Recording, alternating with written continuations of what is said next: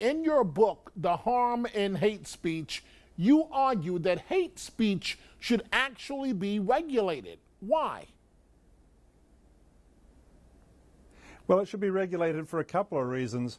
Uh, first, we should be concerned about the prospect of intercommunal violence, of hatred between different groups being stirred up, exaggerated, um, exploited by various speakers. We, we want to make sure that uh, we um, develop some sort of peace or harmony in society, particularly among religious groups at the moment. And secondly, we are worried, or we ought to be worried, by the prospect that hate speech aims to make members of vulnerable minorities feel excluded. It sort of undermines their basic social standing or it tries to convey a message to them that they are to be treated as less than human or less than citizens. But, Professor, you already know what my next question is going to be. Wouldn't hate speech laws violate our most closely held belief in freedom of speech? It would certainly require us to rethink that closely held belief, and I think the United States has a very strong commitment to the First Amendment, and that's a very valuable thing in all sorts of areas, not just hate speech. We do restrict speech in various areas. You can't uh, engage in threatening speech. You can't engage in subversive uh, or uh, subversion or incitement or certain forms of um, libel or defamation. You can't uh, distribute child pornography. There are all sorts of speech acts that we do regulate. But you're absolutely right. This would require us to think very carefully about balancing the, the, the, the very strong value that we have for free speech with the, um, the good that we were trying to do with these regulations. I will say that most other democracies who also believe in free speech have drawn this balance somewhat differently from the way that we have.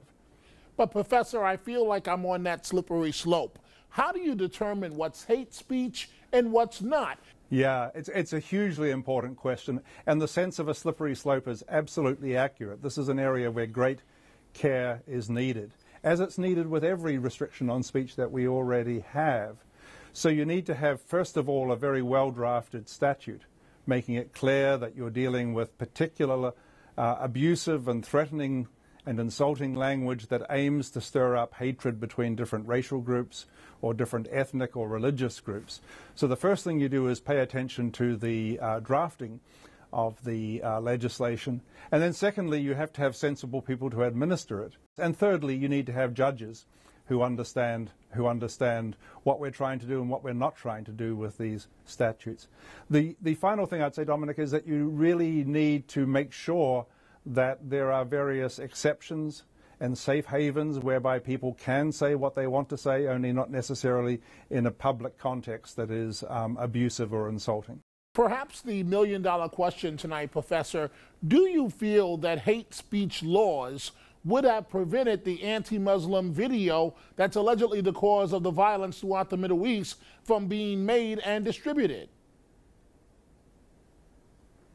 It's really hard to answer that question. For one thing, there's, a, there's a, an enormous practical difficulty, as Secretary of State Hillary Clinton said yesterday, in actually preventing the dissemination of this material, even if we were legally entitled to do so. But secondly, it's, it's interesting. The hate speech laws that you have, for example, in Great Britain, make this a very, very close case because although it prohibits stirring up hatred against um, a group of religious worshippers, say followers of Islam. It specifically exempts attacks on the religion itself or attacks on the founder of the religion. It draws that distinction between attacks on the believers and attacks on the beliefs.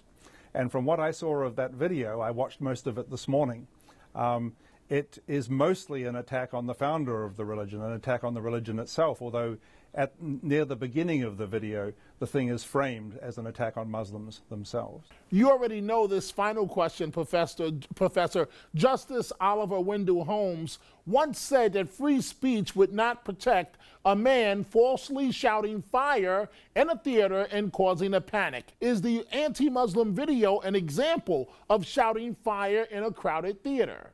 I think a reasonable case could be made. Those who made this video intended to cause a panic, in my view, or they did so with what we might call in the law depraved indifference as to whether a panic would result or not.